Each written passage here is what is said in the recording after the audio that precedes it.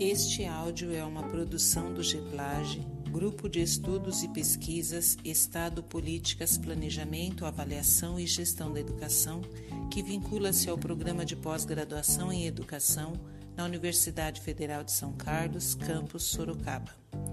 Voz de Lídia Vicentina de Jesus Ribeiro, artigo escrito por Brasílio Salum Júnior, título do artigo Metamorfoses do Estado Brasileiro no final do século XX. Tópicos: Crise de Estado e transição política, a nova república, democratização e desenvolvimentismo, a nova hegemonia liberal e suas consequências, liberalismo, desenvolvimentismo e democracia. Metamorfoses do Estado brasileiro no final do século XX. Agradeço a Lawrence Whitehead, Maria Dalva Guinzo e Eduardo Kugelman pelos valiosos comentários a este artigo. Ele é uma versão alterada do texto apresentado no seminário 15 Years of Democracy in Brazil, organizado pelo Institute of Latin American Studies em Londres em fevereiro de 2011. Brasílio Salum Júnior. O objetivo deste artigo é analisar algumas das mudanças políticas mais importantes ocorridas no Estado brasileiro nas últimas décadas do século XX. Para isso, focalizarei dois processos que alteraram tanto o Estado como suas relações com a ordem social e a ordem econômica, a democratização política e a liberalização econômica. Esses dois processos foram dimensões-chave da transição política que transformou a forma autocrática e desenvolvimentista de Estado vigente no Brasil desde os anos de 1930. Ao longo de sua existência, este Estado cumpriu um papel de núcleo organizador da sociedade, deixando pouco espaço para a organização e a mobilização autônomas de grupos sociais, sobretudo dos vinculados às classes populares e funcionou como alavanca para a construção de um capitalismo industrial nacionalmente integrado, mas dependente do capital externo, por meio de uma estratégia de substituição de importações. Nota 1. Sobre o padrão autocrático de dominação na sociedade e no Estado brasileiros, consultar Fernandes, 1975. Em relação ao Estado desenvolvimentista brasileiro, ver Drive, 1985.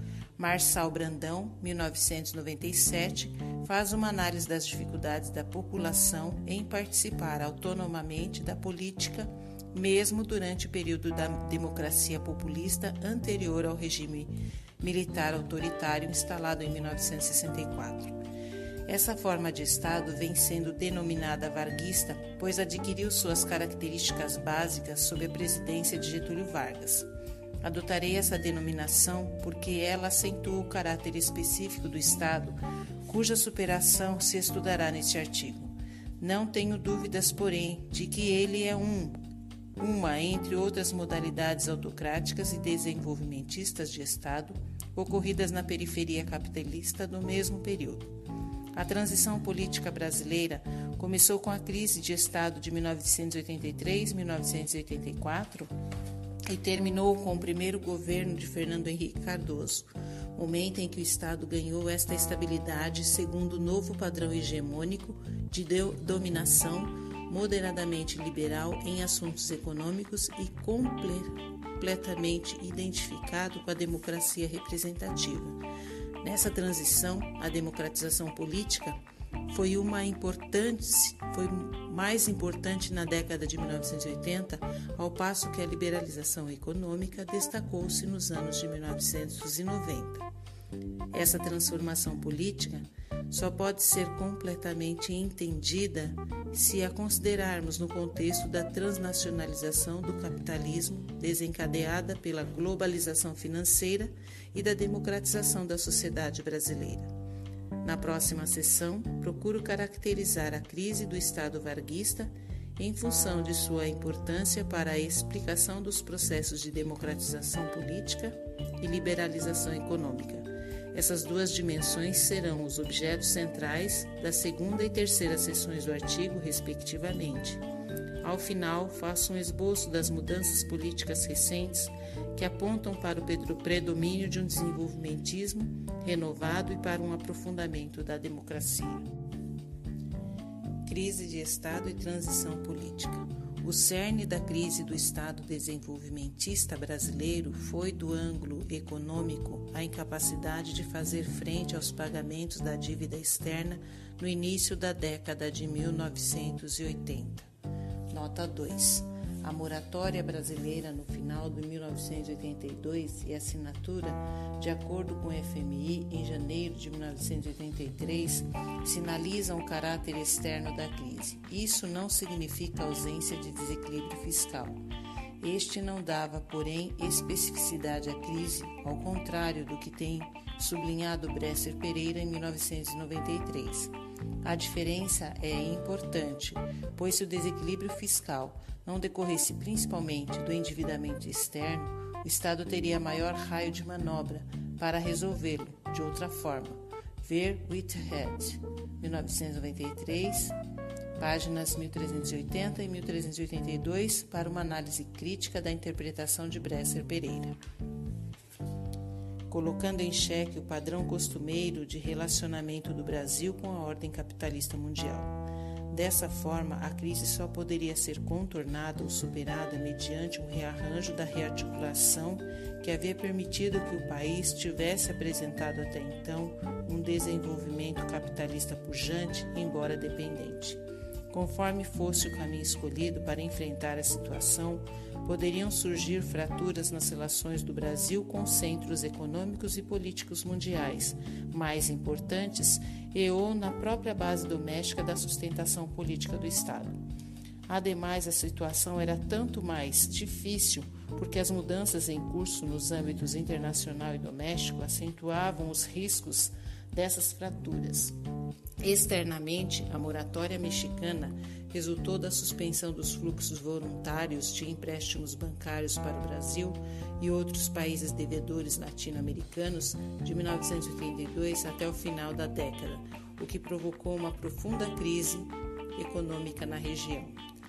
Além disso, desde meados da década de 1970, as ideias predominantes nos países centrais e nas agências financeiras multinacionais em relação à política econômica moveram-se cada vez mais do paradigma keynesiano para a ortodoxia monetária, inclinada a adotar políticas rígidas de contenção de gastos públicos e de controle monetário. Essas mudanças nos fluxos econômicos e nas ideias predominantes em relação à gestão econômica restringiram muito a autonomia das políticas econômicas nacionais. Nota 3. Tais mudanças de paradigmas e nas políticas econômicas foram estudadas por Helleiner, 1994, capítulos 6 e 7. Internamente, as mudanças políticas iniciadas nos anos de 1970 e aprofundadas desde então também dificultaram a rearticulação externa. De fato, nas eleições de 1982, o Partido de Sustentação do Regime Militar perdeu sua maioria absoluta na Câmara dos Deputados e dez governos estaduais importantes passaram a ser governados por partidos de oposição. Nota 4. A reforma partidária de 1979 rompeu o sistema bipartidário instituído pelo regime autoritário em 1965. O PDS, Partido Social Democrata, tornou, tomou o lugar da Arena como representante do regime os partidos PMDB, PDT, PTB e PT assumiram o lugar do MDB, Movimento Democrático Brasileiro, como oposição política. Na eleição de 1982, o PMDB elegeu nove governadores de estado e o PDT um. Com tais resultados, o processo de liberalização política iniciado por Ernesto Geisel em 1973 a 1974 pôs mais uma vez em xeque o controle do regime militar sobre a mudança política do país. Nota 5. Em relação à liberalização política, ver Velasco e Cruz e Martins, em 1983, e Lamoinier, 1985. Com efeito, esses insucessos políticos aprofundaram o padrão segundo o qual mudanças sociais empurravam sempre para além de seus próprios limites o projeto de liberalização política do regime militar. De fato, a partir de 1970, os alicerces politicamente excludentes do regime militar e do velho Estado varguistas foram abalados por um vigoroso processo de democratização política. As classes populares tornaram-se politicamente muito mais autônomas e tentaram partilhar valores materiais e não materiais, que antes eram exclusivos das classes média e alta. Por meio das eleições, das atividades de novas associações civis, ou da renovação da atuação de velhas associações, as classes populares, parte das classes médias e até mesmo alguns setores empresariais passaram a pôr em xeque a capacidade de o Estado controlar, como antes, a sociedade. Nota 6. Sobre o processo de democratização política adotado à perspectiva de Turreine, 1995. A democratização política tem sido sustentada por processo mais amplo de democratização da sociedade brasileira, que não será examinada aqui. Dessa forma, no início dos anos de 1980, o governo brasileiro encontrava-se em campo minado na escolha de estratégias para enfrentar a crise, ele sofreu ao mesmo tempo pressões externas para conduzir o país em direção à ortodoxia econômica e estímulos na direção opostas decorrentes de novas condições políticas internas. Embora o governo tenha optado por um ajuste externo, produção de mega saldos no comércio exterior para pagar o serviço da dívida externa, acompanhado de um ajuste fiscal pouco drásticos, isso foi suficiente para causar sérios danos ao seu suporte sociopolítico. Nota 7. O ajuste fiscal escolhido foi muito menos drástico do que o realizado pelo México, em situação similar. Para uma visão comparativa, consultar Kaufmann, 1988. Com efeito, as estratégias escolhidas para enfrentar o estrangulamento externo produziu uma crise política muito complexa. Nota 8. Faça um relato detalhado desta crise em Salum Júnior, 1996, capítulo 2. Ela começou por dissociar o governo da base da sustentação sociopolítica do Estado varguista. O ajuste externo opôs-se ao receituário econômico da colisão de desenvolvimentista, que viu no crescimento econômico nacional o valor básico a ser alcançado e fazia das empresas estatais seu pilar central de sustentação. A política governamental foi considerada recessiva inflacionária e injusta, pois transferia todos os custos do ajuste para os agentes econômicos domésticos, principalmente para os assalariados e para as empresas estatais evitando onerar os credores externos. Assim, as políticas de governo não só se dissociaram dos interesses imediatos da base de sustentação do Estado, como passaram a ser consideradas legítimas, contrárias aos valores básicos da Aliança Desenvolvimentista. Um dos resultados disso foi que parte do, da velha coalizão desenvolvimentista passou a se opor ao governo. As reações dos dirigentes das empresas estatais, duramente atingidas pela política de ajustes escolhida, foram pouco explícitas em função mesmo do caráter autoritário do regime. Sua oposição manifestou-se indiretamente pela resistência intraburocrática aos comandos governamentais e pela atuação de parlamentares sintonizados com as estatais no Congresso. Os empregados das empresas estatais, pelo contrário, manifestaram-se pública e claramente contra a política do governo, seja com demonstrações de rua, seja pela greve de protesto. Foi no empresariado privado, porém, que ocorreu a fratura mais importante da base de apoio do Estado. Parte das elites empresariais não apenas se opôs à estratégia governamental de ajuste, mas aderiu a projetos alternativos para enfrentar a crise econômica, indicando claramente o esvaziamento da liderança do governo.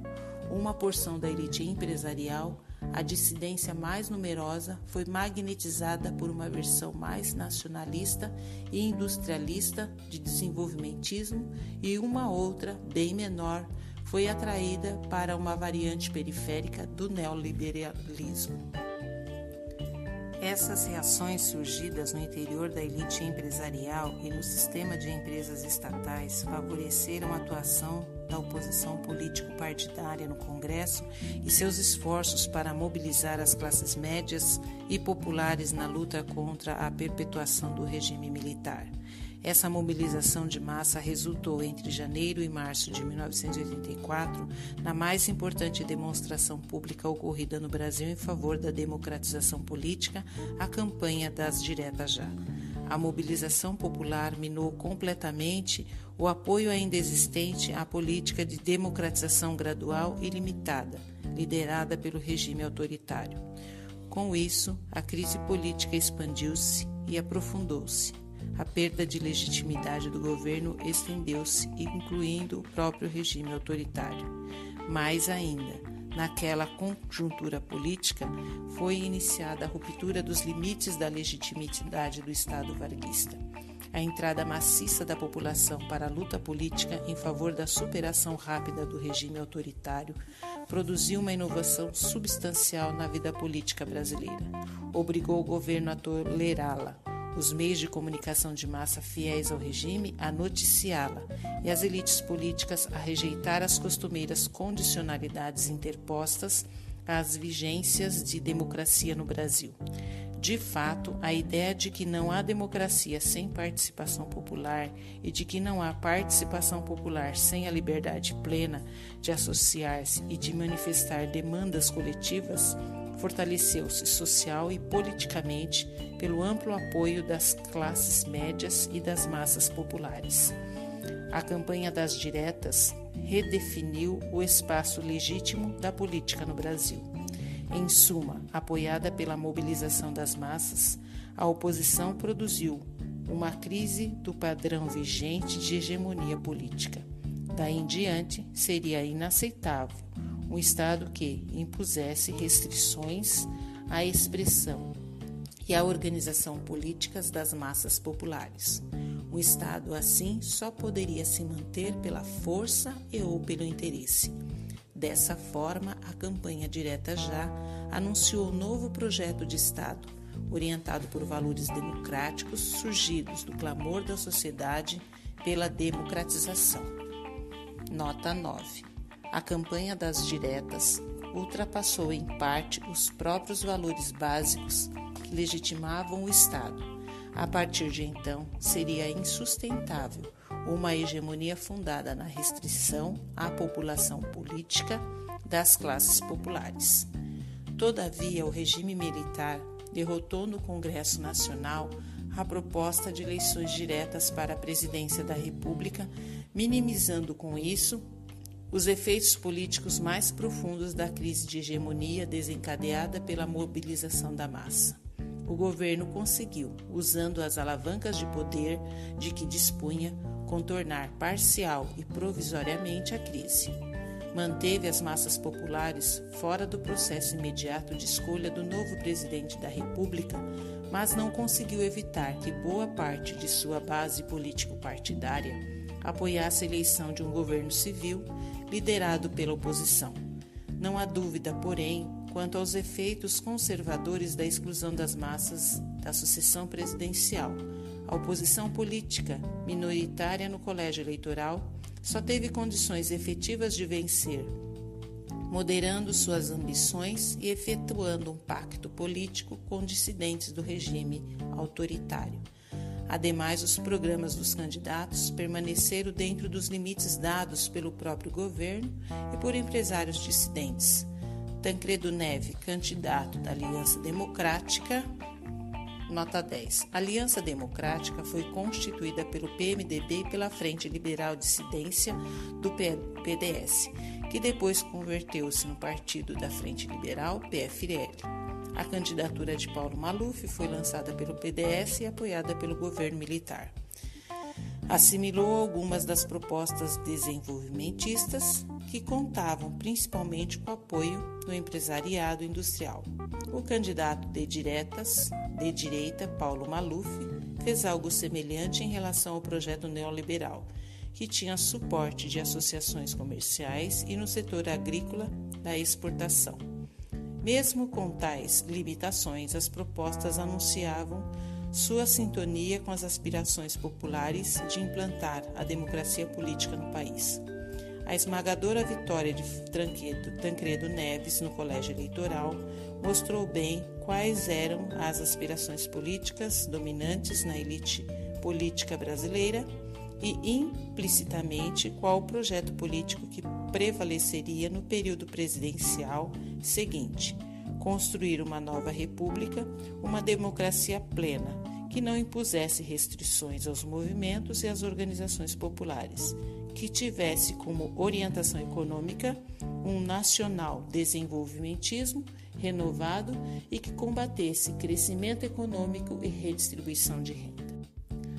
A nova república, democratização e desenvolvimentismo. Durante o governo Sarney, nota 11, o presidente eleito Tancredo Neves não tomou posse em 15 de março de 1985 porque ficou repentinamente doente, morrendo poucas semanas depois. Em seu lugar foi empossado o vice-presidente José Sarney, que governou até 15 de março de 1990. O legado institucional autoritário ajustou-se ao processo de democratização em curso, traduzindo as demandas de ampliação do espaço da política e do universo de seus participantes reconhecidos em regime político democrático. Isto implicou tanto o rompimento dos limites institucionais impostos à participação e à organização política das classes populares, como a expansão dos direitos básicos do cidadão. Eliminou-se assim, na nova República, um dos pilares centrais do Estado varguistas em qualquer de suas formas de organização política. De fato, já no início do governo José Sarney, alterou-se um conjunto de leis que bloqueavam a participação política popular. No primeiro semestre de 1985, foram instituídos a. Eleições diretas em dois turnos para a presidência da República. B. Eleições diretas das capitais dos estados, áreas de segurança e principais instâncias minerais. C. Representação política para o Distrito Federal na Câmara dos Deputados e no Senado Federal. D. Direito de voto aos analfabetos. E. Liberdade de organização partidária, mesmo para os comunistas e todo, e, tendo, e todo um conjunto de alterações menores que iam na mesma direção. Além disso, a legislação sofreu algumas mudanças que provocaram um enorme impacto na atividade política dos trabalhadores, aumentando muito seus direitos de participação e libertando-os do controle governamental. A. Foram readmitidos líderes sindicais antes demitidos por mau comportamento. B. Foi cancelado o controle do Ministério do Trabalho sobre as eleições sindicais. E C foi eliminada a proibição de associações intersindicais, o que legalizou as atividades das centrais sindicais que até então eram apenas toleradas. Essas e outras mudanças nas normas que regulamentavam a vida pública e também a tolerância governamental, quando do desrespeito à lei das manifestações coletivas, permitem caracterizar a nova república como um arranjo político no qual vários segmentos sociais, inclusive as classes populares, puderam lutar por seus interesses e ideias com grande liberdade de ação e organização. Demonstra bem esse ponto o crescimento extraordinário do número de greves e dias parados durante o governo Sarney. Nota 12. A esse respeito, consultar o trabalho de Noronha, Gebrim e Elias Júnior em 2013. O aumento da participação popular afetou a hierarquia entre os centros de poder do Estado, a gestão governamental e a amplitude dos direitos de cidadania. De fato, a crise de hegemonia enfraqueceu a hierarquia que caracterizava o regime autoritário anterior. Na nova república, as pressões da base para o topo da sociedade fortaleceram a autonomia dos centros de poder que antes costumavam ser subalternos. Portanto, o governo, o Congresso Nacional, o Judiciário, os governos dos estados e os partidos políticos ganharam mais latitude de ação em relação à presidência da República. As mudanças nas instituições políticas e no âmbito do poder dos diversos atores culminaram na Constituição de 1988, que ampliou o poder de ação do Legislativo, do Judiciário e do Ministério Público nos processos de decisão governamentais. Parte da base material para exercer o poder, impostos e autonomia financeira, foi transferida da União para os estados e municípios a ponto de transformar os últimos em verdadeiros, verdadeiras unidades federais, não subordinadas aos estados. Em relação aos direitos de cidadania, a nova Constituição estabeleceu uma regra política democrática e ampliou a proteção social para todos, trabalhadores ou não.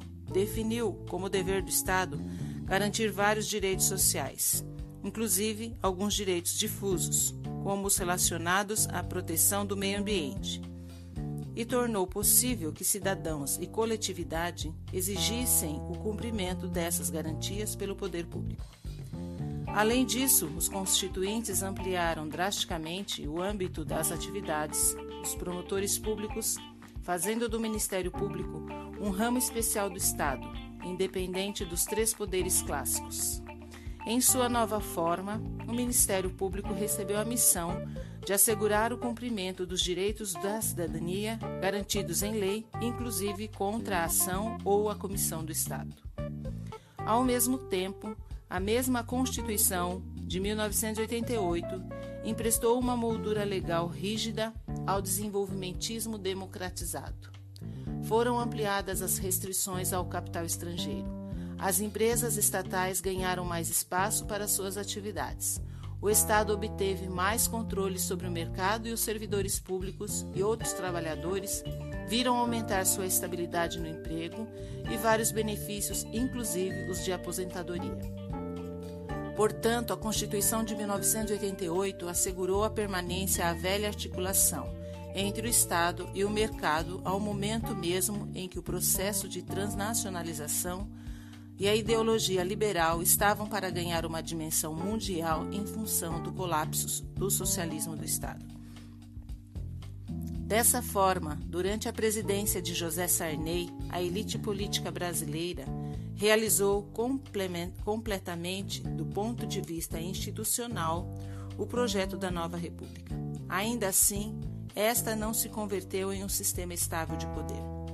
A elite política dirigente fracassou em articular uma nova coalizão sociopolítica que sustentasse o projeto desenvolvimentista democratizado para, por esta via, superar a crise do Estado.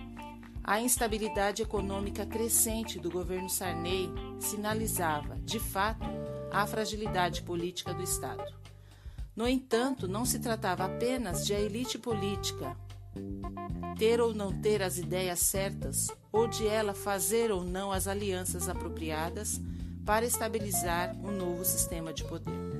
Na verdade, as circunstâncias em que ela operava eram muito difíceis para que pudesse ter sucesso.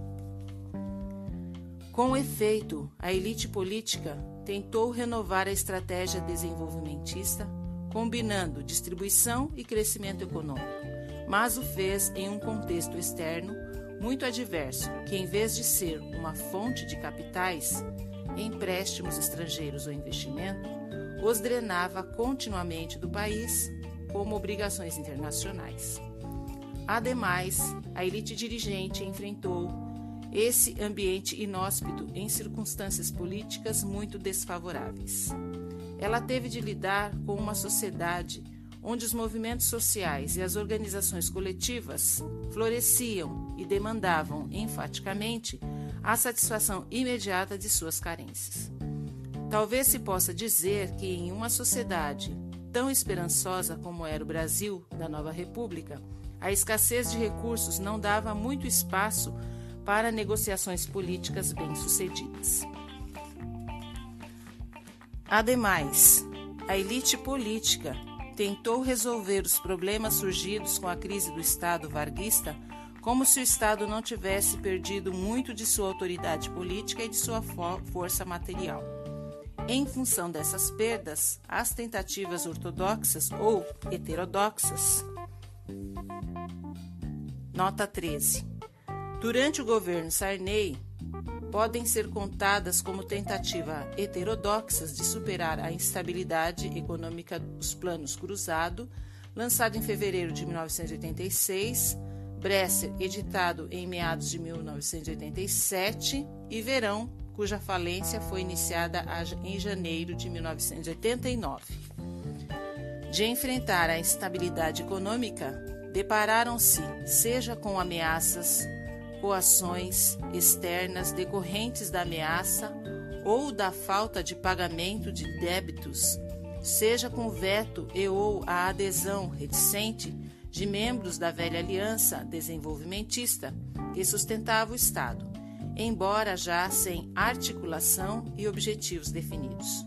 Com efeito, além dos credores privados externos, governos estrangeiros e organizações multilaterais as atividades das coletividades novas ou renovadas, inspiradas em ideário, ora conservador, ora reformistas, e constituídas a partir de distintas bases socioeconômicas, ajudaram a moldar as políticas estatais, algumas vezes estimulando e outras colocando alguns limites à ação do Estado. Organizações de empresários agrícolas e de proprietários de terra, por exemplo, restringir o programa de reforma agrária ao mínimo e, por sua atuação junto ao Congresso Constituinte, conseguiram assegurar amplamente os direitos de posse da terra. Em sentido oposto, em 1989, ano de sucessão presidencial, fortes manifestações organizadas pela Central Única dos Trabalhadores, CUT, e por sindicatos levaram o Congresso Nacional a não aprovar, na íntegra, o chamado Plano Verão, visto que ele tentava estabilizar a moeda, reduzindo os salários reais dos trabalhadores. Seguramente, a eficácia da atuação dos movimentos e das organizações populares e das camadas médias na nova república podem ser explicadas em boa parte pela fragilidade material do Estado e pela articulação frouxa de sua base de sustentação social. Em síntese, a nova república tornou-se um sistema instável de dominação política em que não se articulavam bem a dimensão institucional, a esfera sociopolítica e as condições econômicas.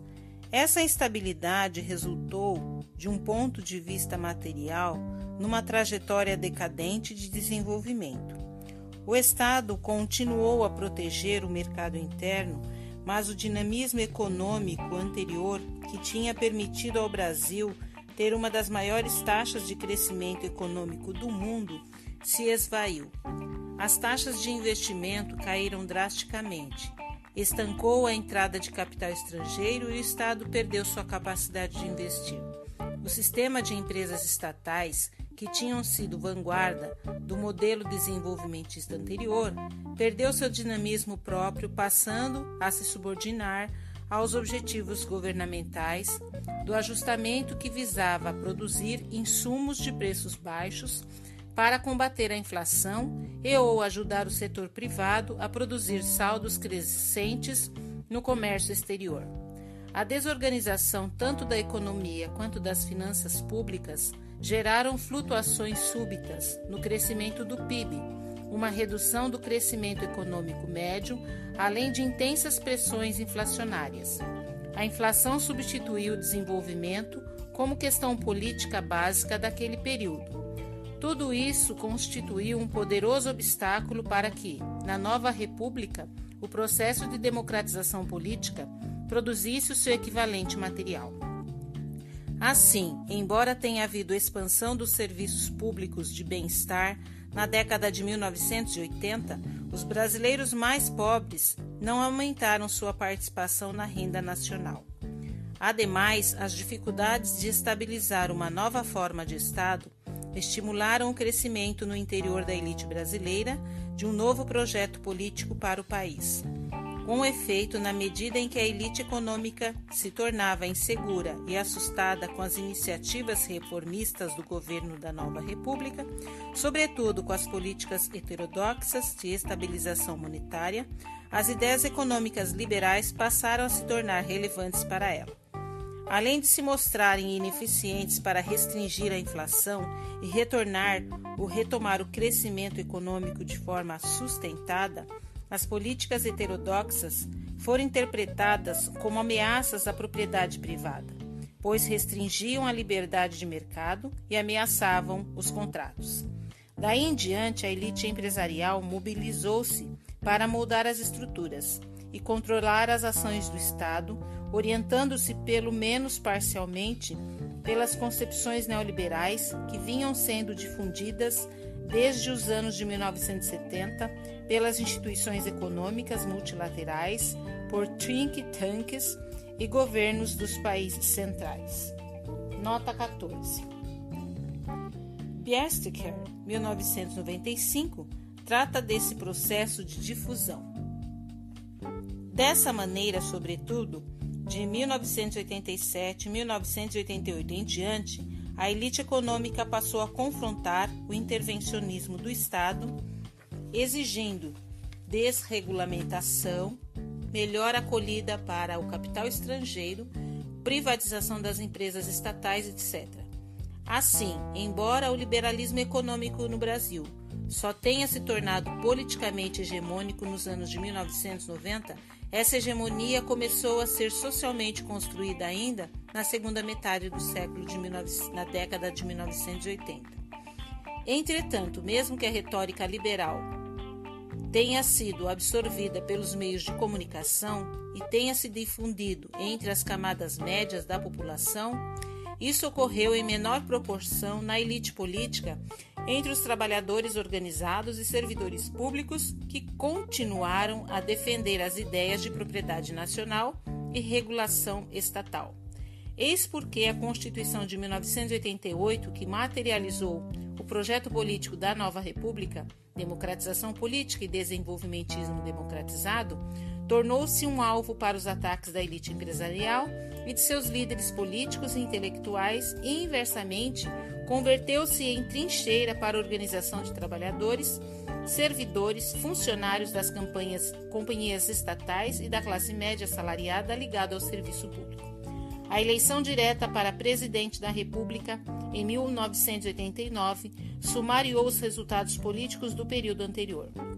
Depois de quase 30 anos de interrupção de disputas diretas para a presidência, a eleição foi realizada com total liberdade de expressão e reunião, constituindo um dos pontos mais altos de participação das classes populares e das camadas médias na política brasileira. Certamente foi a crescente presença das classes populares e média na esfera pública que abriu caminho para o desempenho eleitoral dos candidatos da esquerda no primeiro turno, na eleição presidencial e, especialmente, para o ex-operário, metalúrgico e líder sindical Luiz Inácio Lula da Silva, no segundo turno. Mesmo sendo candidato de um partido tão pequeno como o Partido dos Trabalhadores, PT, Lula foi derrotado apenas por uma pequena margem de votos. Nota 15. No segundo turno eleitoral, 37% votaram em Lula, apenas 4% menos do que no candidato vencedor Fernando Collor de Mello. Sublinhe-se ainda que este ótimo resultado foi obtido sem mascarar as intenções reformistas do PT. Lula prometeu durante sua campanha uma ruptura efetiva do padrão autocrático de dominação social as classes populares seriam conduzidas ao poder. O governo faria uma redistribuição de renda, deslocando recursos do topo para a base da sociedade, realizaria uma verdadeira reforma agrária e as empresas estatais seriam preservadas, embora sua administração devesse ser democratizada. Em suma, o reformismo de esquerda visava eliminar, pelo menos em parte, a exclusão social radicalizando o processo de democratização ao lhe dar bases materiais adequadas. No polo oposto, dando pelo menos de 5% dos votos aos candidatos do PMDB e do PFL, o eleitorado ratificou o fracasso da elite política em converter a nova república forma estável de dominação política. O processo eleitoral foi um momento de inflexão nas referências ideológicas que polarizavam o sistema partidário. A partir da campanha de 1989, o confronto entre democracia e autoritarismo, que se caracterizava o sistema partidário desde, libera... desde a liberalização política do regime militar, tornou-se pelo menos relevante. As forças partidárias reorganizaram-se de acordo com as novas polarizações e, nesse processo, sobretudo, as relações Estado-mercado ganharam espaço. Os partidos foram magnetizados pelas ideias econômicas liberais, de um lado, e pelo desenvolvimentismo democratizado do outro. O Partido do, da Social Democracia Brasileira, PSDB, dissidência do PMDB, organizada como partido em 1988, inclinou-se decisivamente para o liberalismo, como enfatizou seu candidato Mário Covas ao exigir para o país um choque de capitalismo. O Partido Democrata Cristão, PDC, e o Partido Liberal, PL, também adotaram um programa liberal. O PDS, partido do extinto regime militar, já havia se adaptado às ideias do livre mercado desde a crise de 1983-84. Embora elas tenham sido sufocadas na disputa eleitoral, tal como na sucessão presidencial anterior, pelo populismo conservador de seu candidato Paulo Maluf. E apesar da retórica nacional desenvolvimentista do candidato do PFL, Aureliano Chaves, o partido vinha apresentar, apresentando desde a Constituinte uma crescente inflexão liberal e não lhe deu apoio significativo. Na direção contrária, o PMDB, o PDT e o PT radicalizaram o desenvolvimentismo em sua versão nacionalista e distributiva. A campanha eleitoral de 1989 mostrou também outra polarização ideológica. A oposição entre dois tipos diferentes de ideias democráticos. Embora todos os partidos fossem favoráveis à democracia, aqueles que tinham a liberalização econômica no centro de sua agenda sinalizavam a aceitação da democracia representativa, mesmo quando questionavam a forma presidencialista de governo. No outro polo, o da esquerda, enfatizava-se o caráter limitado da democracia representativa, o de só dar espaço para a atuação popular nos períodos eleitorais, e predominava a ideia de avançar em direção a formas mais participativas de democracia. Em suma, com a vitória de Fernando Collor de Mello, político identificado com o neoliberalismo e pouco simpático aos experimentos participativos da democracia, as eleições presidenciais de 1989 tornaram-se um marco divisório entre dois momentos de transição política brasileira, quais sejam o período em que predominou a democratização política e o que teve como seu impulso básico a liberalização econômica. A nova hegemonia liberal e suas consequências. Nota 16. Nesta sessão, reelaboro parte das análises e informações que constam de Salum Júnior, 1999-2000.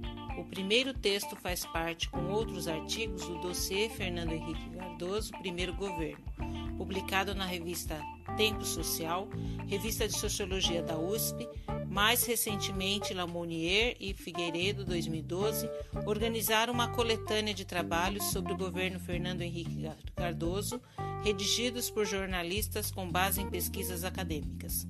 Este trabalho contém análises de ótima qualidade, mas seus resultados não alteram substancialmente a interpretação aqui desenvolvida. O governo Collor confirmou, em parte, a inflexão liberal manifestada no embate eleitoral de 1989 contribuiu para danificar o quadro institucional nacional desenvolvimentista e redirecionar a sociedade brasileira em um sentido antiestatal e internacionalizante. Ainda assim, embora dando ao Estado o impulso inicial para conformar uma nova estratégia de desenvolvimento, o governo Collor não conseguiu vencer a crise de Estado experimentada pela sociedade brasileira desde o início da década de 1980. Durante o período Collor, as licenças e as barreiras não tarifárias à importação foram suspensas e as tarifas alfandegárias foram redefinidas, criando-se um programa para sua redução progressiva ao longo de quatro anos. Nota 17. As tarifas médias eram 31,6% em 1989. Foram reduzidas para 30% em 1990, para 23,3% em 1991, para 19,2% em janeiro de 1992, para 15% em outubro de 1992, até 19,2% em julho de 1993. Ao mesmo tempo, programou-se a desregulamentação das atividades econômicas e a privatização das companhias estatais que não estivessem protegidas pela Constituição, a fim de recuperar as finanças públicas e reduzir aos poucos o papel do Estado no incentivo à indústria doméstica. Finalmente, deu-se sequência à política de integração regional com os países da fronteira sul, instituindo-se o Mercosul 1991, com vistas a ampliar o mercado para os produtos domésticos dos seus participantes.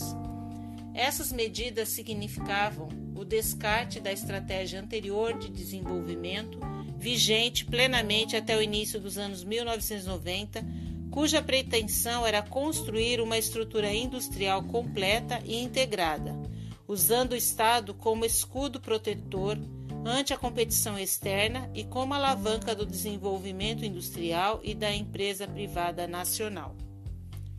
Essa reorientação estratégica, embora sintonizada com as novas inclinações liberais dos do empresariado local e com as tendências ideológicas dominantes do plano internacional, foi insuficiente para soldar um novo pacto político que superasse a crise de hegemonia iniciada em 1983.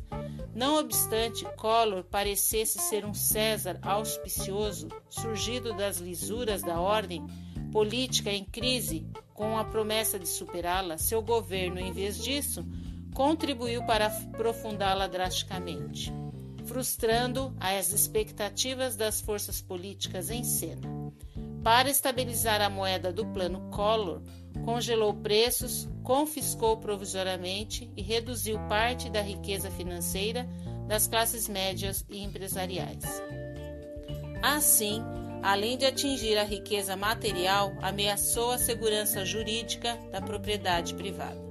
Ademais, o governo submeteu as organizações tradicionais dos empresários a ataques verbais sistemáticos, organizando ao mesmo tempo grupos de empresários para apoiá-lo na implementação de suas políticas.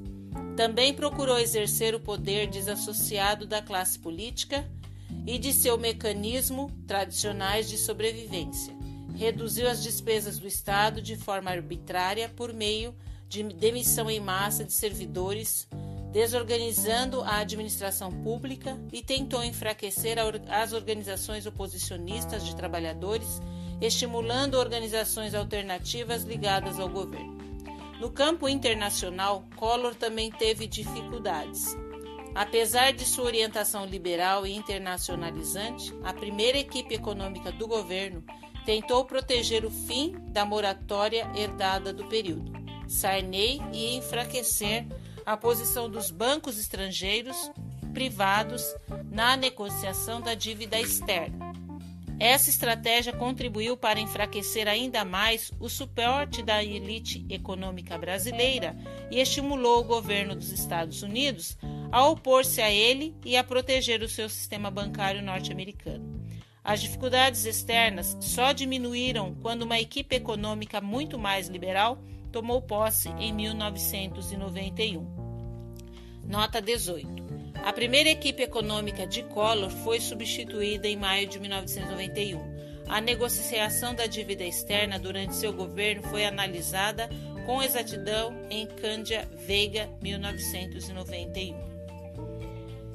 Nesse contexto tão perturbado é que Fernando Collor foi acusado de ser o chefe oculto de um esquema governamental de corrupção. Depois de ser investigado e processado pelo Congresso, renunciou à presidência da República para evitar o impeachment.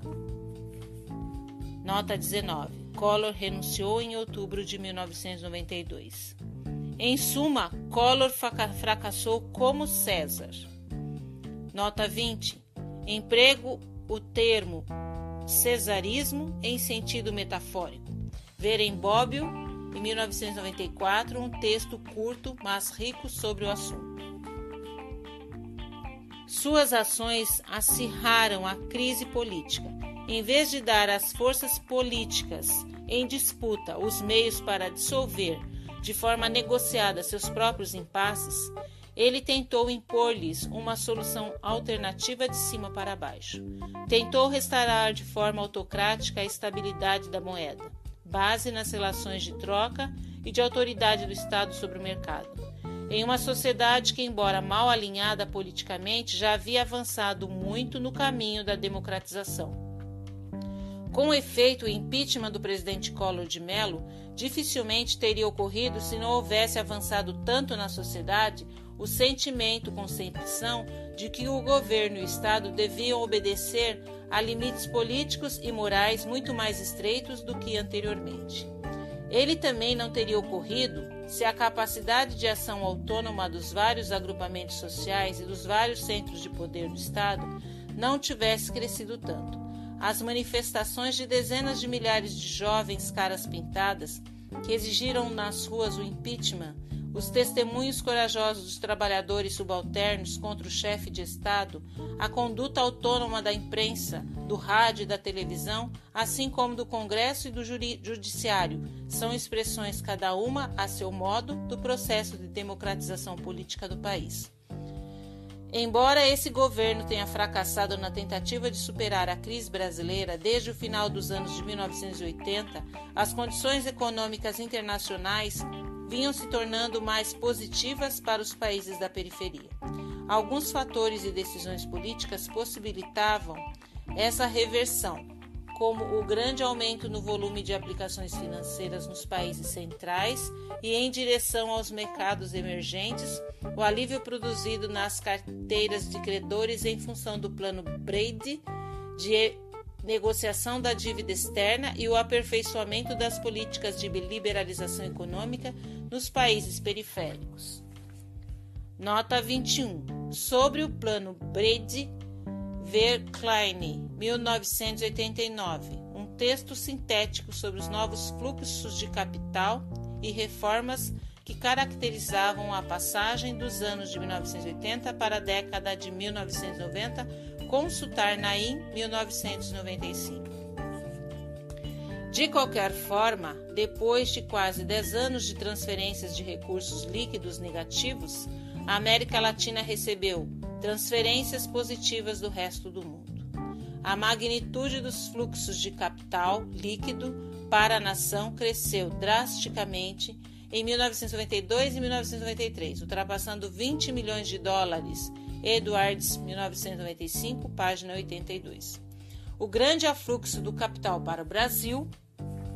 Nota 22. O fluxo voluntário de capital externo começou a voltar ao Brasil em 1991. Suas reservas de câmbio atingiram 42 milhões de dólares na metade de 1994, quando o Plano Real foi lançado.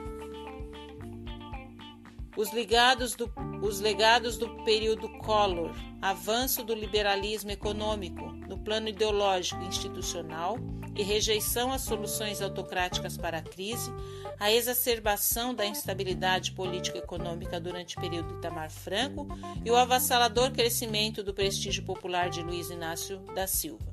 Candidato de esquerda à presidência da República, foram algumas das condições e, ao mesmo tempo, alavancas poderosas para a nova tentativa realizada em 1994 de superar a crise de hegemonia que minava a sociedade brasileira desde o início da década de 1980.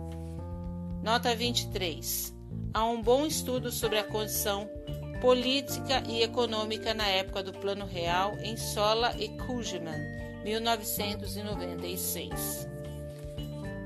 As condições e as características do sistema institucional brasileiro especificam a fortuna com que se defrontaram algumas lideranças políticas que, bem situadas no seio do Estado e temerosas de perder o seu controle, tiveram virtude suficiente para aproveitar a ocasião e negociar a associação entre partidos de centro e de direita em torno de continuidade das reformas liberais, da estabilização da economia e da tomada de poder político central.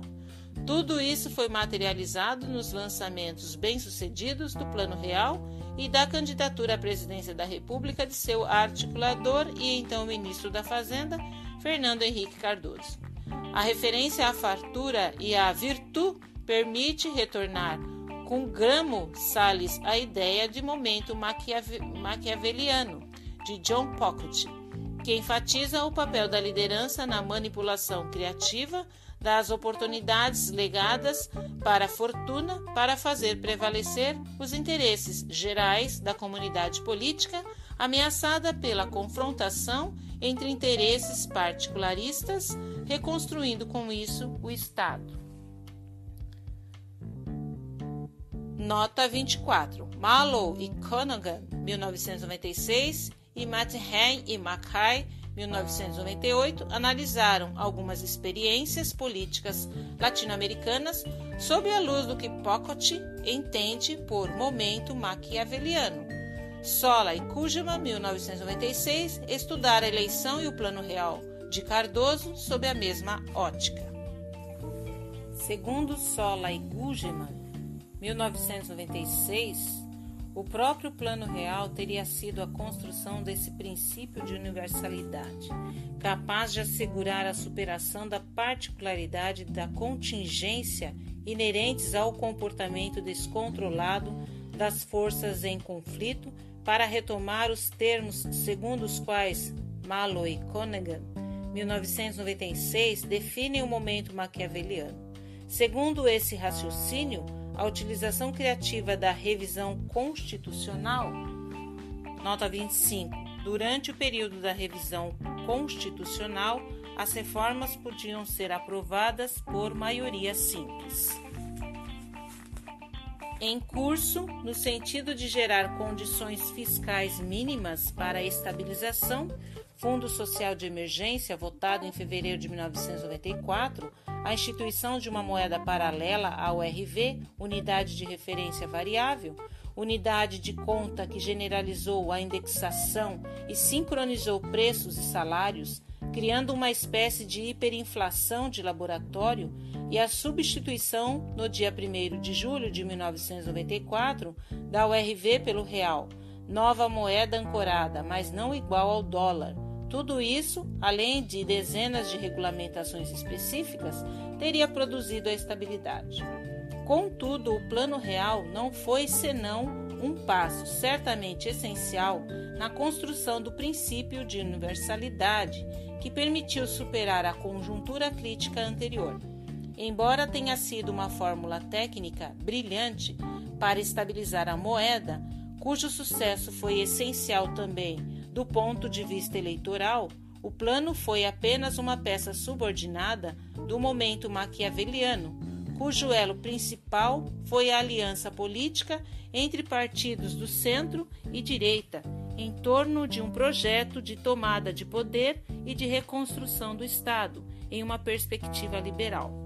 O próprio papel da liderança, sua virtude embora crucial, foi limitado na medida em que deu o acabamento final a um processo de construção da hegemonia liberal, cujos alicerces tinham sido erguidos no plano societário durante a segunda metade da década de 1990.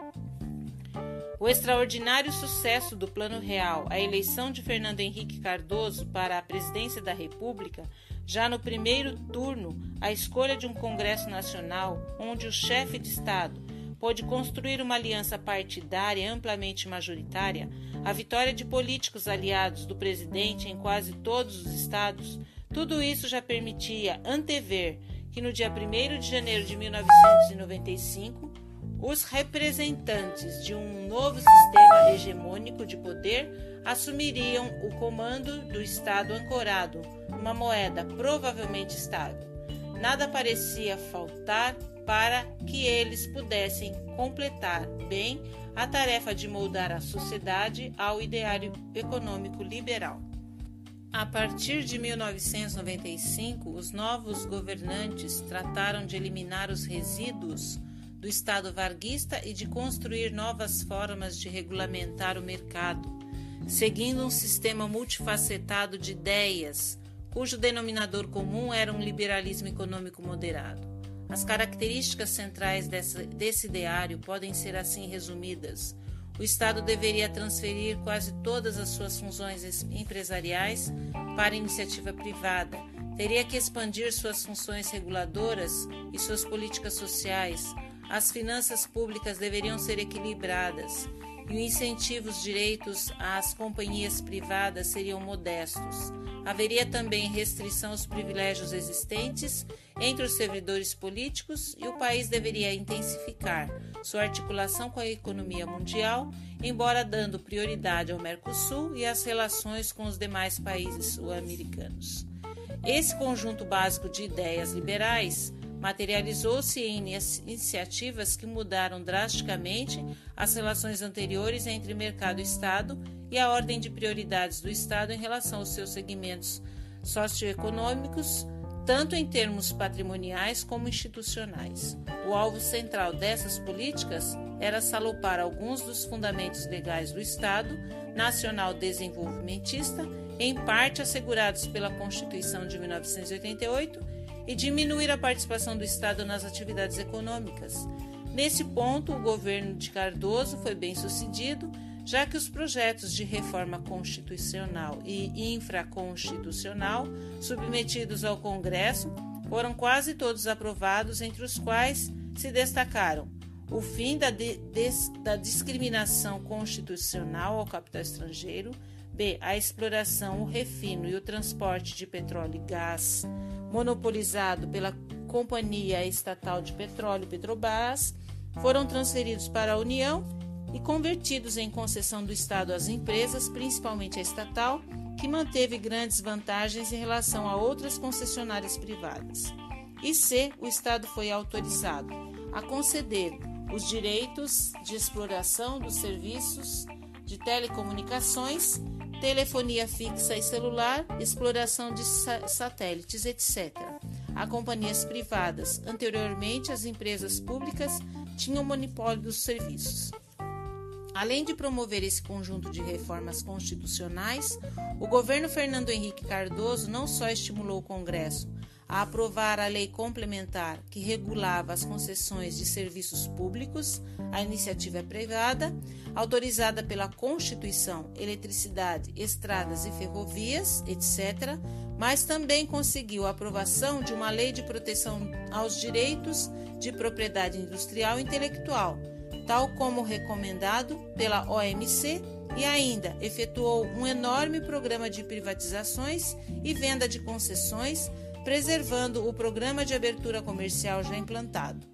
De forma similar, os governos dos estados realizaram programas de privatização e concessões, mas em menor escala. Outra área importante atingida por medidas disciplinares foram as finanças públicas. Fixaram-se limites máximos para todos os pagamentos de pessoal, as dívidas dos estados e municípios foram negociadas e foram proibidos por muito tempo novos empréstimos e renegociações junto ao governo federal. Nota 26. No segundo governo de Fernando Henrique Cardoso, foram aprovadas normas estritas de responsabilidade fiscal para os governantes e penalidades para os transgressores. Esse conjunto de iniciativas parecia ter materializado o Código Comum de um novo bloco hegemônico de dominação adotado por políticos e burocratas com comando sobre o poder executivo, pela grande maioria de parlamentares, por empresários dos mais variados setores, pela mídia e etc., e gradualmente dominou a classe média e parte do sindicalismo urbano e das massas populares. Com efeito, as medidas legislativas foram facilmente aprovadas pelo Congresso Nacional, apesar da oposição de uma minoria de esquerda portadora de bandeiras da defesa do patrimônio público e da economia nacional. As privatizações e as vendas de concessões também foram bem-sucedidas e tiveram apoio popular, apesar das disputas forenses e das manifestações de rua promovidas por organizações de esquerda. Contudo, nesse novo bloco político hegemônico, vinculado pelo já mencionado liberalismo econômico moderado, fortes divisões internas geraram conflitos reiterados sobre a política econômica e acabaram dando um caráter lúdico às ações do Estado. No seu interior havia, de um lado, uma corrente liberal fundamentalista, orientada basicamente para a estatização estabilização monetária e comprometida com a promoção de uma economia de livre mercado, e de outro, uma tendência liberal desenvolvimentista mais inclinada a equilibrar a estabilização monetária com o crescimento competitivo da economia local mediante a intervenção moderada do Estado. Ao longo do primeiro mandato de Fernando Henrique Cardoso, a primeira versão do liberalismo predominou, servindo de orientação e dando consistência à ação dos que dirigiam a política econômica governamental. Nota 27. Os principais representantes dessa corrente ideológica do governo foram o primeiro presidente do Banco Central, Gustavo Franco, e o ministro da Fazenda, Pedro Malan. Fora do governo, suas principais expressões intelectuais foram os economistas da PUC do Rio de Janeiro. Os fundamentalistas tentaram obter a estabilização monetária com políticas de câmbio supervalorizado. Nota 28.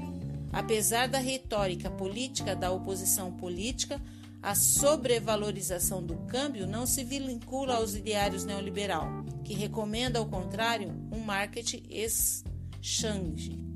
A versão brasileira radical de liberalismo adotou a sobrevalorização para forçar as empresas brasileiras a se enquadrarem rapidamente, sob pena de desaparecimento, aos padrões do mercado, isto é, aos níveis internacionais de preços e produtividade. Eis porque domino, denomino fundamentalista esse tipo de liberalismo. Juros altos e ajuste fiscal brando. A segunda corrente liberal, a desenvolvimentista, não tinha a consistência da primeira, pois não possuía um texto pragmático, nem orientava sistematicamente a ação governamental.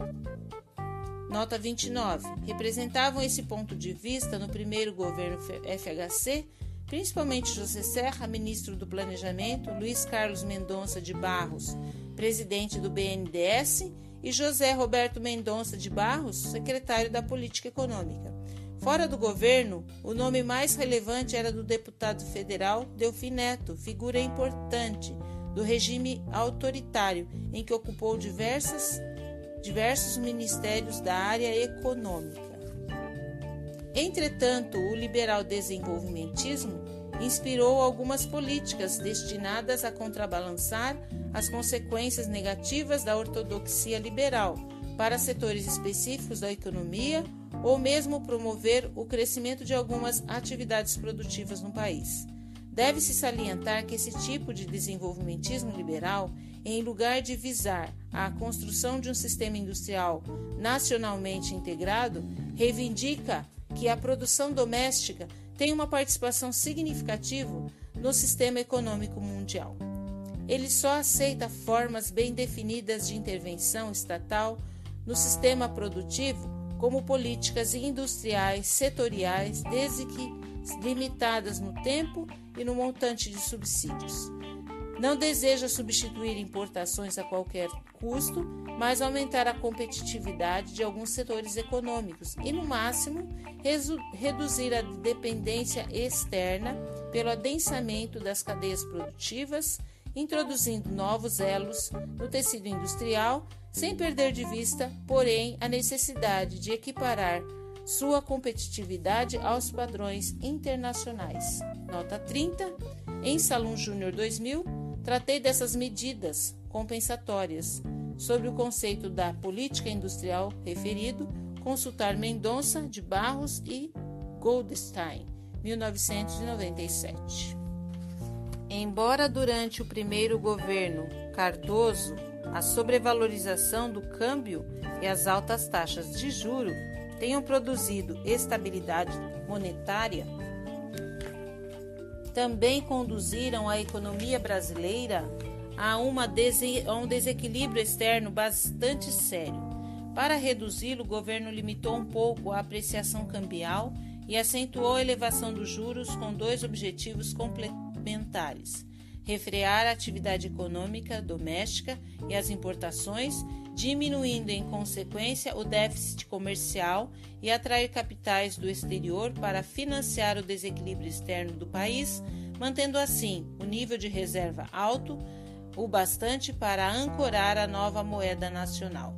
Esse programa de estabilização sustentava-se numa percepção otimista do mercado financeiro global, que via sua liquidez como permanente e capaz de equilibrar, com empréstimos e investimentos, desequilíbrios ocasionais do balanço de transações correntes do Brasil com o exterior, caso o desempenho econômico do país fosse adequado. A crise financeira do México, em dezembro de 1994, mostrou pela primeira vez os riscos de adequar a política macroeconômica à orientação liberal fundamentalista. De fato, tal crise deixou claro que, dependendo das circunstâncias internacionais, poderia ser difícil obter capital no exterior para financiar um desequilíbrio acentuado nos balanços comerciais e de serviços.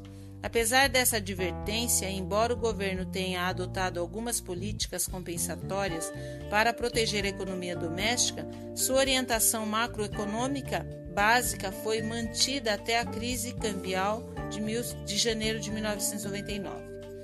Em obstinação, essa obstinação contribuiu para aumentar muito a fragilidade financeira externa da economia brasileira e a debilidade do Estado ante os credores privados, pois levou ao endividamento crescente para cobrir os desequilíbrios gerados pela economia macroeconômica.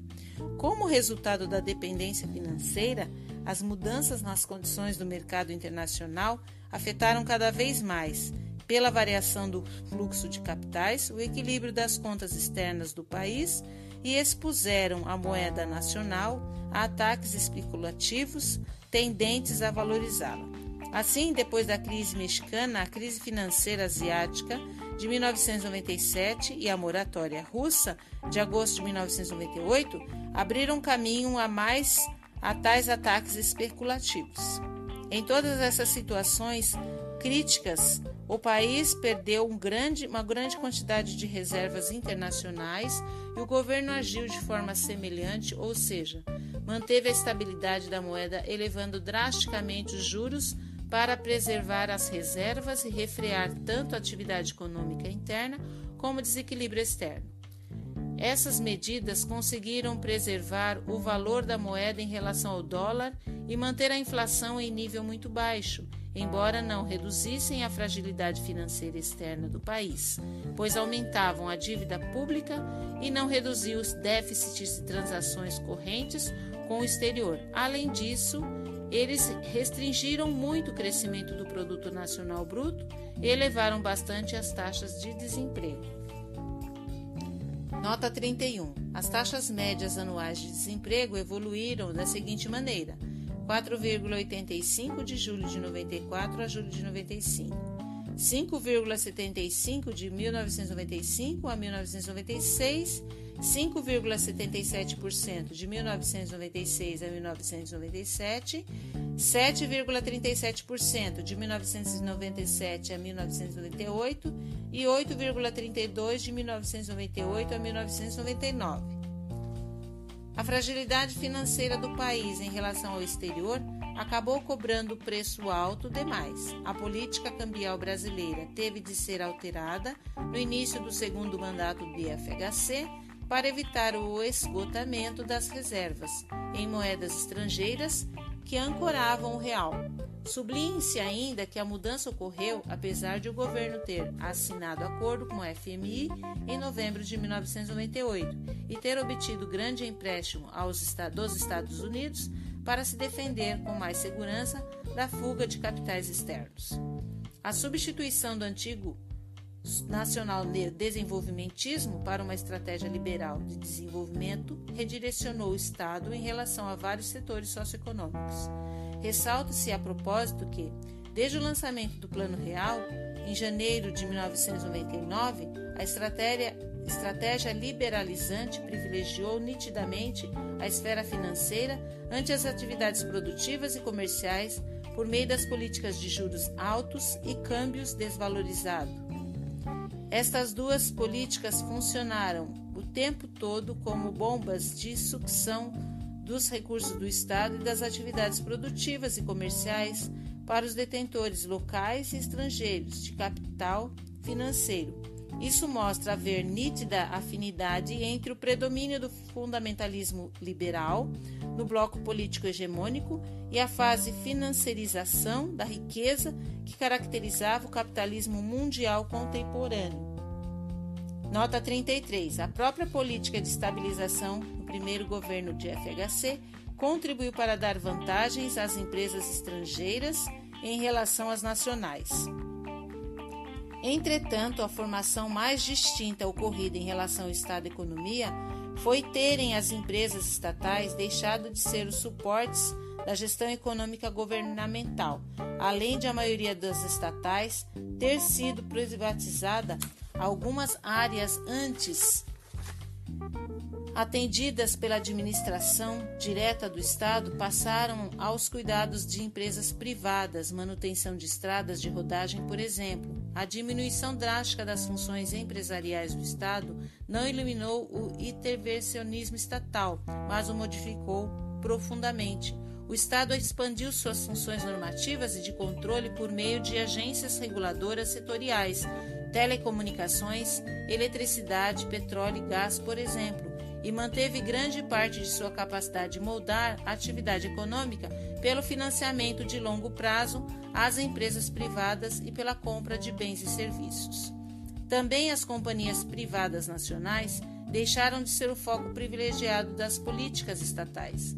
Não só as companhias estrangeiras foram constitucionalmente equiparadas às nacionais, mas também a orientação estatal básica foi de atrair ao máximo os investimentos externos e de promover sua associação com as empresas locais. Nota 33. Todo o conceito de Braga de 1997, além do texto citado, podem ser consulta aos trabalhos de Chesnay 1996 1998, que, embora de forma um pouco diversa, vão na mesma direção. Além desta orientação geral, tanto da União quanto dos Estados, o governo federal tentou atrair sistematicamente as companhias multinacionais para os ramos da indústria, como automotivo, de telecomunicações, etc., modulando as leis tributárias e o sistema de financiamento e tomando iniciativas para vender a imagem do Brasil como um excedente distinto para o capital estrangeiro. É possível que isso tenha ajudado o Brasil a se tornar um dos maiores distintos destinos do investimento estrangeiro direto no mundo, embora sempre ultrapassado entre os países emergentes pela China. Nota 34. Em 1996, o IDE atingiu apenas 9,6 bilhões de dólares. Em 1997, subiu para 17,9 bilhões e depois para 26,8 bilhões de dólares em 1998 e finalmente 31,2 bilhões de dólares em 1991. Outra mudança importante introduzida na relação Estado-economia é que desde 1995 tendeu a desaparecer a prioridade política antes concedida ao desenvolvimento das manufaturas industriais. No âmbito do BNDES, principal agência financeira da industrialização brasileira, foi notável a diversificação das atividades econômicas atendidas. Além de manufaturas, foram financiadas empresas comerciais agrícolas. A agricultura empresarial, sobretudo, foi diretamente beneficiada pelo governo federal e teve seus interesses de expansão convertidos em demandas prioritárias da política externa brasileira. Desde 1996, quando ganharam impulso as discussões em torno da assinatura de acordos livre comércio com os Estados Unidos e União Europeia, os assuntos agrícolas e a luta contra as políticas protecionistas dos países centrais tornaram-se um ponto central da diplomacia brasileira. As mudanças na reorientação do Estado foram tão profundas que romperam um dos parâmetros básicos da velha, Aliança Nacional Desenvolvimentista, a propriedade agrária deixou de ser intocável. A própria estabilização monetária reduziu os preços da propriedade territorial, antes muito usada como reserva de valor. Além disso, não só por iniciativa do próprio governo, mas também por pressão social do Movimento dos Trabalhadores Sem Terra, MST, da Confederação Nacional dos Trabalhadores Agrícolas, CONTAG, e da Igreja Católica durante os dois mandatos de Cardoso, desenvolveu-se um grande programa de reforma agrária. Esse concluiu desapropriações de propriedades improdutivas e o assentamento de centenas de milhares de famílias de trabalhadores agrícolas sem terra, assim como um conjunto de reformas institucionais e medidas específicas que elevaram a taxação sobre terras improdutivas e aumentaram o controle do poder público sobre a propriedade fundiária, inclusive pela retomada da posse sobre as imensas áreas legalmente apropriadas por grileiros. Liberalismo, desenvolvimentismo e democracia. Embora a reeleição de Fernando Henrique Cardoso em 1998 e a manutenção quase total de seu suporte político no Congresso e entre os governadores tenham confirmado a quiescência da maioria em relação ao programa liberal, governo perdeu sua força política anterior, pois deixou de ter controle sobre sua política econômica. Foi levado a desvalorizar da moeda em janeiro de 1999, mesmo depois de recorrer ao apoio do FMI e do governo norte-americano, e foi constrangido por enormes dificuldades econômicas. É verdade que o governo teve sucesso na substituição do regime de câmbio semifixo e sobre, sobrevalorizado pelo câmbio flutuante e no manejo da política monetária. A estabilidade da moeda foi mantida e depois de estagnação de 1999, houve um crescimento de 4% do PIB em 2000. Entretanto, o apoio do FMI foi dado e renovado em troca de compromisso de o governo fazer um severo ajuste fiscal, objetivando produzir um grande superávit anual nas contas públicas, sem considerar os juros devidos. Um superávit grande o bastante para permitir reduzir a proporção da dívida pública em relação ao PIB. Nota 35. O compromisso de produzir superávit primário anual de 3,5% do PIB, elevado em 2012 para 3,75%, implicou uma grande contenção de gastos, ainda mais que os números foram de fato superados. Sublinhe-se que durante o período primeiro mandato de Fernando Henrique Cardoso, embora o governo defendesse a necessidade de se ajustar às contas públicas, apesar da man, de, apesar apenas as manteve equilibradas, não contando os juros pagos. Além disso, a estagnação internacional de 2001 e 2012, a crise da Argentina e o risco político associado à eleição presidencial de 2012 produziram constrangimentos adicionais às políticas governamentais. Houve, de fato, uma importante redução dos fluxos de investimentos externos diretos, IDE, para o Brasil e dificuldades para rolar as dívidas externa e interna. Nota 36. Os fluxos de IDE foram de 33,3 bilhões de dólares em 2000, caíram para 20 bilhões de dólares em 2001 e para 16,6 bilhões de dólares em 2002. As dificuldades de rolagem da dívida interna manifestaram-se apenas em termos de custo monetário mais alto. Em relação à dívida externa, houve redução dos montantes disponíveis para renovar linhas de crédito às exportações, algo que não ocorrera sequer na crise dos anos de 1990. Assim, uma vez mais, revelaram-se a dependência externa e a fragilidade econômica do Brasil, apesar da nova política de câmbio flutuante. Esta não pôde proteger plenamente a economia da conjuntura internacional negativa e das incertezas políticas, em função das enormes dívidas interna e externa produzidas pela política de destabilização do primeiro governo Cardoso e crônico déficit brasileiro nas suas transações correntes com o exterior. As contramedidas do, do Banco Central aprofundaram o ajuste fiscal, aumentar as taxas de juros e assinar novos acordos com o FMI, embora protegessem a solvência financeira do Brasil, reduzir o crescimento do PIB em 2001 e 2002 a menos de 2% anuais. Nota 37. Apesar do considerável ajuste fiscal, o Brasil não conseguiu reduzir a proporção de sua dívida pública em relação ao PIB. Em compensação, a enorme desvalorização cambial relacionada à incerteza eleitoral de 2002 ajudou o Brasil a gerar um superávit comercial de 13,1 bilhões de dólares, o que reduziu o déficit externo corrente a 1,7% do PIB entre 1998 e 2001 e déficit anual atingido mais do que 4% do PIB.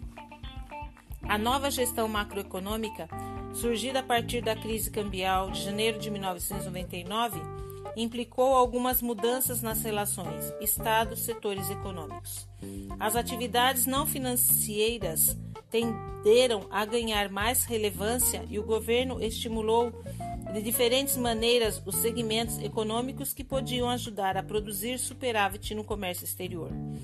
Durante do segundo governo Cardoso, até foi dada atenção a alguma ajuda às companhias que tinham certa probabilidade de competir internacionalmente com multinacionais. Essas mudanças podem ser vistas como sinais de transformação política dentro do bloco hegemônico. Este se inclinou de forma irregular e hesitante em direção ao seu polo liberal desenvolvimentista. Com efeito, desde o começo de 2000, o Ministério de Desenvolvimento, o da Ciência e Tecnologia, a Secretaria do Planejamento e até a Presidência da República manifestaram sinais desse tipo de transformação mais acentuada ainda com a aproximação das eleições de 2012. Mesmo assim, os portadores do fundamentalismo liberal mantiveram controle sobre as principais alavancas do poder, o Ministério da Fazenda e o Banco Central, e por meio delas preservaram a prioridade para a estabilização, embora tenham adotado a política fiscal em lugar da política cambial como instrumento central para conservá-la. Em suma, o bloco hegemônico manteve essas divisões internas, embora atenuadas, e seus conflitos internos foram deslocados da questão cambial para assuntos fiscais. Como consequência, as decisões governamentais tenderam a ser lentas e não sistemáticas.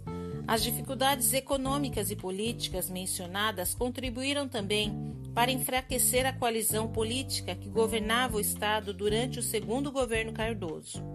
No seu primeiro mandato, o presidente FHC tinha um alto prestígio popular, originado principalmente da súbita estabilização monetária, o que reforçou os poderes presidenciais usuais e o ajudou muito a lidar com a ampla coalizão dos partidos governistas para executar o programa reformista liberal. Além disso, a estabilidade monetária conseguida pelo Plano Real e a política de contenção econômica que predominou no primeiro governo de Fernando Henrique Cardoso restringiu a ação dos movimentos e das organizações das massas populares.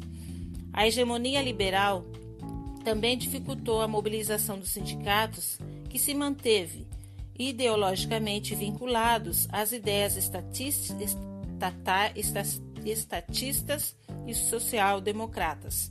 Ademais, a propagação do apoio popular ao governo facilitou a adoção de um estilo tecnocrático de exercer o poder e reforçou as dificuldades de participação política popular fora dos períodos eleitorais. É notável que, apesar dessas dificuldades, tem aumentado muito a mobilização dos trabalhadores agrícolas em favor da reforma agrária, forçando o governo a desenvolver amplo programa de reforma agrária antes mencionado.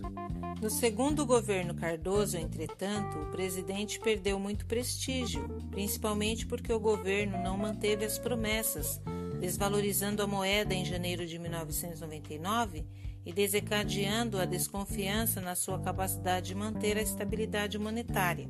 A crise cambial afastou ao mesmo tempo a possibilidade de o governo realizar em tempo as promessas de retomada do crescimento econômico.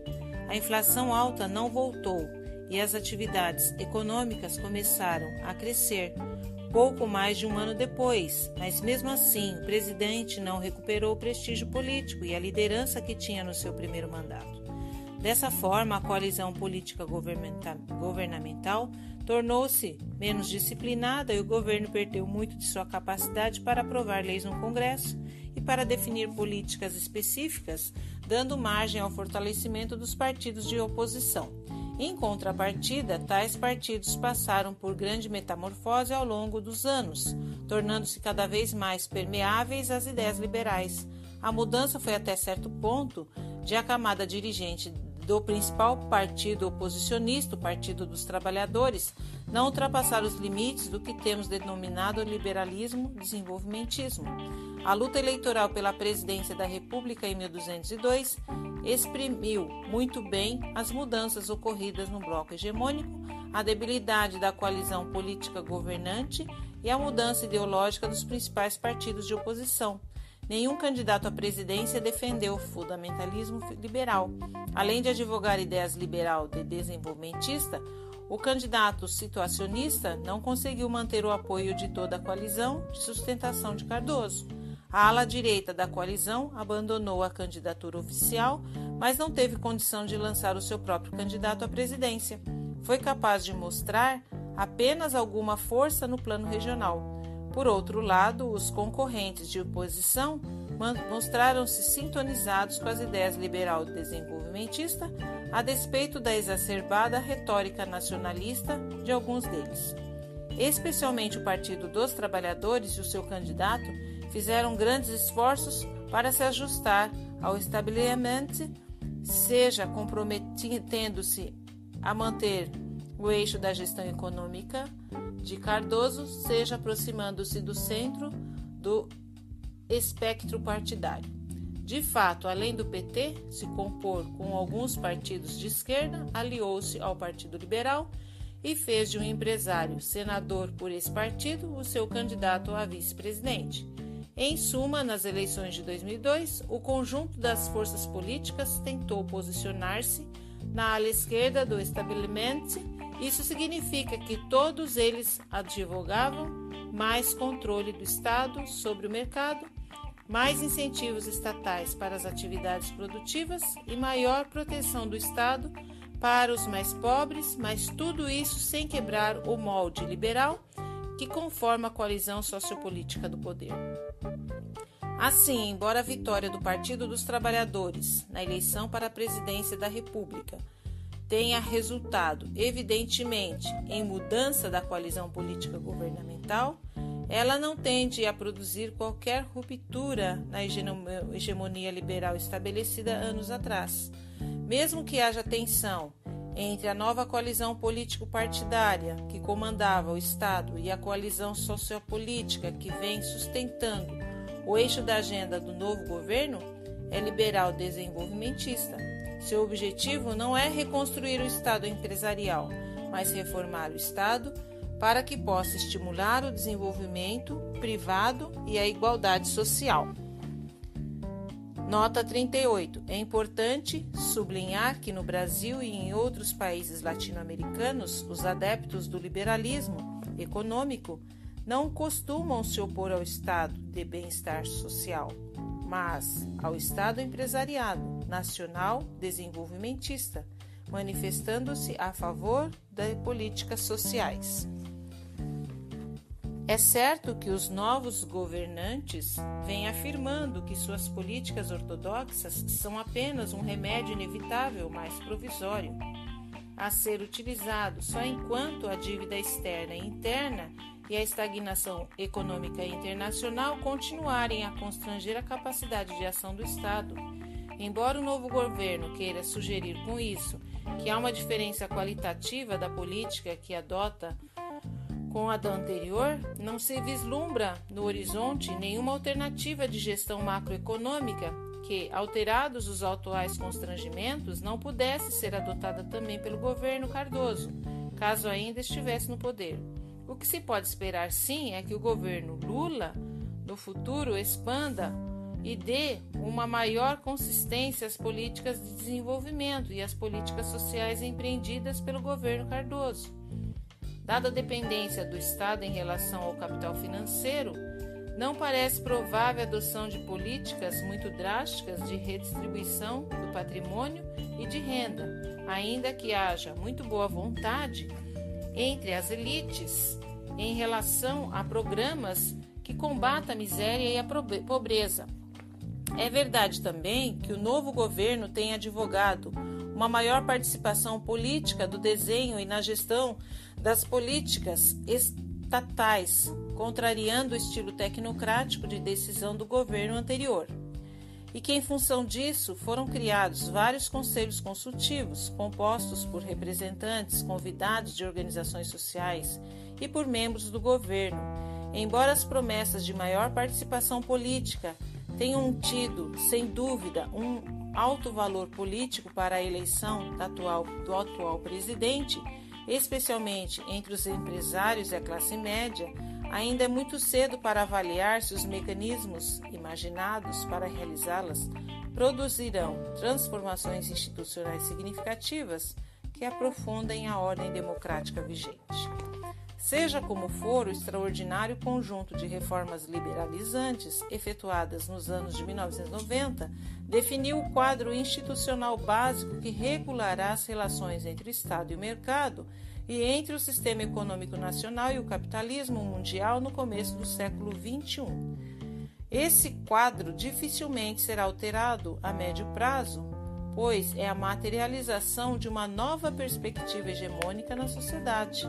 As mudanças ocorridas na gestão econômica inclinaram-na cada vez mais para o liberal desenvolvimentismo e é razoável supor que o novo governo de esquerda tende a reforçar as características centrais dessa inflexão no campo hegemônico liberal. A dependência externa e o Mercosul são os elos mais frágeis da nova forma de integração do país no capitalismo mundial. De um lado, a incapacidade crônica de gerar poupança interna suficiente para sustentar investimentos ameaça o desenvolvimento econômico contínuo do Brasil. De outro lado, a, franqueza, a fraqueza econômica e a política dos países membros do Mercosul no plano mundial e a falta de harmonia entre eles pode complicar a sua consolidação como bloco regional. Ademais, os Estados Unidos pressionam intensamente suas, para subordinar o Mercosul a um processo de integração que compreende toda a América sob sua liderança. De uma perspectiva mais ampla, foi notável o progresso brasileiro na direção de uma sociedade mais democrática. Há nítidas manifestações de intolerância crescente das classes médias e populares diante do comportamento predatório das elites e também cada vez mais exigências de distribuição mais justa de renda. Essas demandas de responsabilidade política e social tendem a consolidar as instituições políticas democráticas e, como válvula inflacionária, mecanismo de escape típico daquela elite em face das pressões distributivas está razoavelmente bloqueada, parece provável que, paralelamente ao crescimento econômico, venha a ocorrer uma maior redução dos índices brasileiros de desigualdade material e cultural. Nas últimas décadas do século XX, por maiores que tenham sido as mudanças ocorridas, o Brasil não escapou de sua condição periférica. A retomada do crescimento acelerado e a consolidação do Mercosul não serão suficientes para permitir que isso ocorra. Superar essa condição exige a inclusão social e econômica dos mais pobres, que ainda permanecem à margem das conquistas materiais da civilização moderna. Este é o desafio mais difícil e mais necessário para a sociedade brasileira superar nesse século XXI. Considerações finais. Referências. O presente trabalho reúne inúmeras referências citadas ao longo do texto. Por sua extensão, não serão aqui narradas.